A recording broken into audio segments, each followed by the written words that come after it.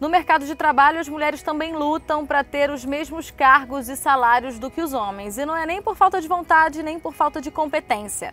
O segundo censo da diversidade, divulgado pela FENABAN, que é a Federação Nacional dos Bancos, mostra que as mulheres são mais bem qualificadas do que os homens e que, mesmo assim, recebem 22% a menos.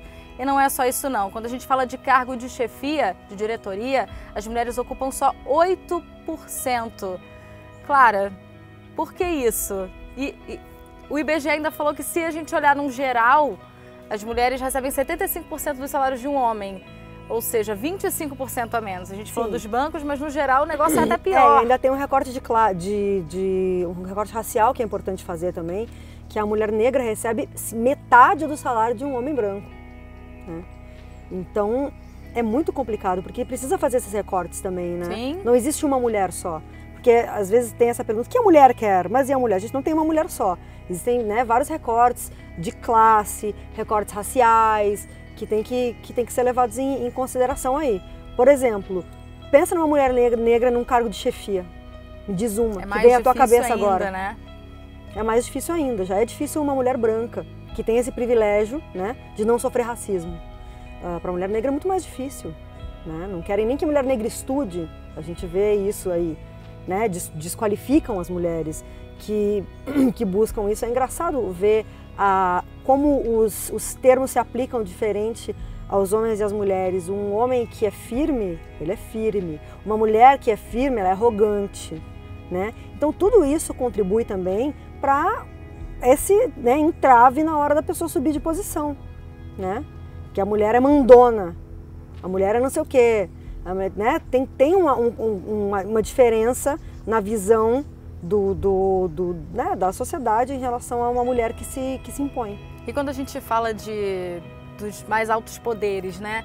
que a gente na presidência, ou então no legislativo, no executivo, no judiciário. A gente vê muita mulher engajada na política, mas poucas mulheres que ocupam cargos uh, de, nessas esferas do poder. Por que isso?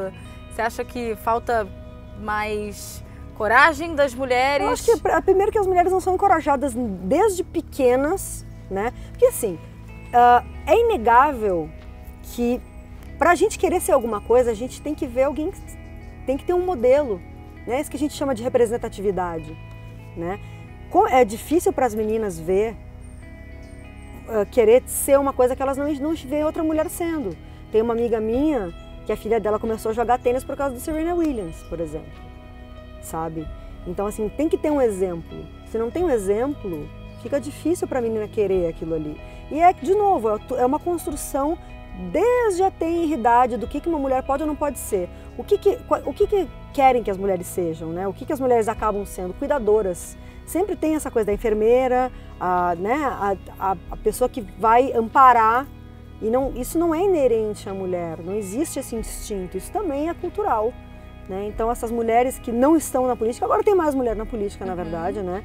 Tá, tá aumentando esse, esse consciente aí, até por essa questão do diálogo entre as mulheres, mais mulheres estão se interessando em entrar na política. Mas tá, a gente está muito longe ainda de conseguir ter metade. Representatividade é, mesmo, né? Porque aí as pessoas falam, ah, mas um homem não pode falar pelos direitos das mulheres. Até pode, mas ele mas nunca vai saber. Eles não passam por aquilo, né? Eles não passam pelas mesmas coisas, eles não sentem nunca na pele. Nunca vai saber. A gente que é branca nunca vai saber o que é ser preto. A gente pode entender e apoiar as causas né, de, de igualdade racial e tal, mas a gente não, não sabe. Não pode, não dá. Não, simplesmente não dá. Tem que ser uma pessoa que entende e que sente na pele, né? Agora, além, além da gente ganhar menos, mesmo sendo mais bem qualificada, ah, muitas vezes a gente dentro do mercado de trabalho ainda tem cara que tenta passar a gente para trás, né? E a gente volta naquele nosso dicionário para explicar o que, que é o mansplaining. Bom, mansplaining é quando o cara vem tentar te explicar uma coisa que você já sabe. Basicamente é isso. Só para te ah, diminuir, assim? Para te diminuir, ou, ou porque ele realmente, na cabeça masculina dele, ele acha que você não entendeu, porque você está discordando dele. Acontece muito isso em, às vezes, discussões políticas, tal, quando a gente né, entra nos embates mais acalorados, digamos assim, o cara vem querer te explicar por que, que ele está certo e você está errado, sendo que você tem um posicionamento que você sabe por que você tem. Então tem, sei lá, tem várias maneiras de fazer isso, tem como você fingir que você está concordando e fazendo as coisas do seu jeito, né? Uh, tem que desenvolver o maior saco do mundo para ficar explicando as coisas para as pessoas e tem que encontrar aliados, né? Uh, porque não dá para ter todo mundo como inimigo. Sim. Até porque não, os homens não são inimigos, os homens têm que ser aliados, né? Inclusive os homens precisam conversar entre eles sobre essas questões. Uh, tem esse círculo da masculinidade que a gente chama, que é assim, o cara sabe que o amigo agride a, a namorada, mas não fala nada porque é problema deles. Não pode isso aí. Mete a colher sim, tem que falar, sabe? Sabe que o cara é assediador, sabe que o cara é machista, sabe que o cara é estuprador. E não fala nada porque não quer, que, não quer pegar mal com os amigos. Tá, gente, por favor, né? Prioridades, prioridades. Vamos parar de passar pano para agressão de todos os tipos, né? Agora, para a Organização Internacional do Trabalho, vai demorar 70 anos para que os salários das mulheres sejam iguais aos dos homens. Você acha que nesse meio tempo que a gente começa a discutir, que esse assunto está cada vez mais em voga, que as pessoas estão entendendo que as mulheres são tão capazes quanto os homens de tudo, você acha que a gente ainda vai ver isso a gente ainda vai conseguir ver isso, né? Porque eu já estou com sei. 30, 70, Eu acho que 100. 70 anos é pouco, hein? Eu acho pouco. Mas as coisas estão andando rápido mesmo. Eu acho que é possível que em 70 anos as coisas mudem realmente. Uh, mas é complicado, né? A gente vê assim os, e, e, os efeitos desse empoderamento feminino que tem mundialmente é, é, uma onda de medo do conservadorismo. Porque conservadorismo que é o quê? Conservar as coisas como estão, né? Quer que as coisas fiquem assim.